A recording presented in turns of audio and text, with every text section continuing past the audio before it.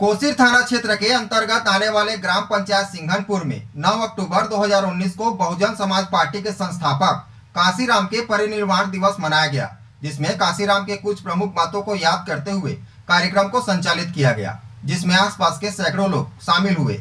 कोसिर थाना क्षेत्र के अंतर्गत आने वाले ग्राम पंचायत सिंघनपुर में 9 अक्टूबर 2019 को बहुजन समाज पार्टी के संस्थापक काशीराम के परिनिर्वाण दिवस को मनाया गया, जिसमें काशीराम के कुछ प्रमुख बातों को याद करते हुए कार्यक्रम को संचालित किया गया, जिसमें काशीराम बहुजन समाज को एक धागे में पिरोने का काम करने वाले काशीराम के योगदान को जितना याद किया जाए, वो कम होगा। काशीराम समाज के हित के लिए प्रण लेने वाले काशीराम ने समाज के हित के लिए घर बार माँ बाप सबका मुँह छोड़ दिया। उनकी ज़िंदगी पर एक नज़र 15 मार्च 1934 को पंजाब के रोपड़ ज़िले के ख्वासपुर गाँव में दलित परिवार में उनका जन्म हुआ।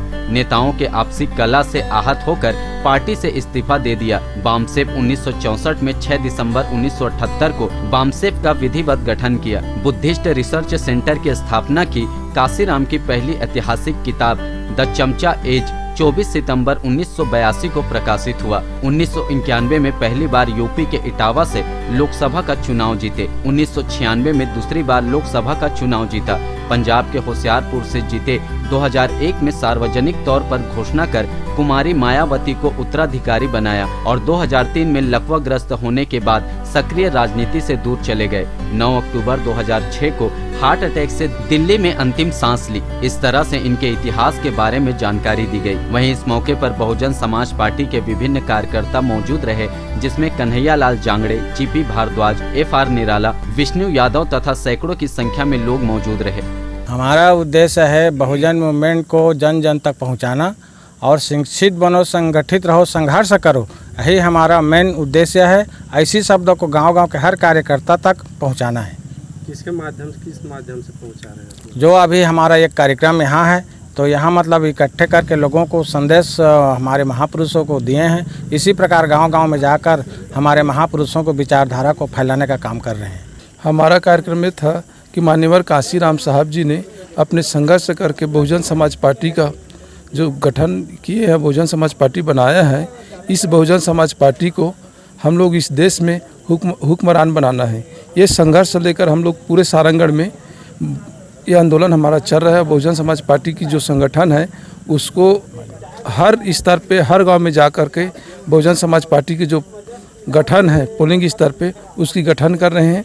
और इसी दरमियान आज मान्यवर काशीराम साहब जी का हम लोग पुण्यतिथि मनाए हैं और इसमें हम लोग सारे सारंगढ़ विधानसभा स्तर के कार्यकर्ता को इकट्ठा किए हैं और सभी लोग आज इस बात की शपथ लेकर चल रहे हैं कि आने वाला समय में हम लोग सारंगढ़ में बहुजन समाज पार्टी का विधायक बनाएँगे। ये संकल्प लेकर के आज हम लोग सिंघनपुर में सारे बहुजन समाज पार्टी के कार्यकर्ता इकट्ठा हुए थे। आज 2009 अक्टूबर 2006 को मानवर कांसीराम जी परिनिर्वाण को प्राप्त हुए थे और उनको याद करने या उनके द्वारा बताए रास्तों में चलने के लिए उनका आज परिवार दिवस ग्राम सिमघनपुर में आयोजित किया गया था, जिसमें तहसील स्तरीय बहुजन समाज पार्टी के कार्यकर्ता बामसेप के कार्यकर्ता सब उस उपस्थित होकर के मान्यवर कांसीराम जी के विचारों को आत्मसात, आत्मसमर्पण, आत्मसात करने की मंथन किया गया और आत्मसात करने का निर्णय लिया गया।